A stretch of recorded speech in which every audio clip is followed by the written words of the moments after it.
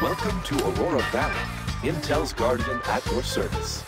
We Guardians are the artificial intelligence robotics built by Sky Eye's fourth lab. We are born to provide better service for humans. But the...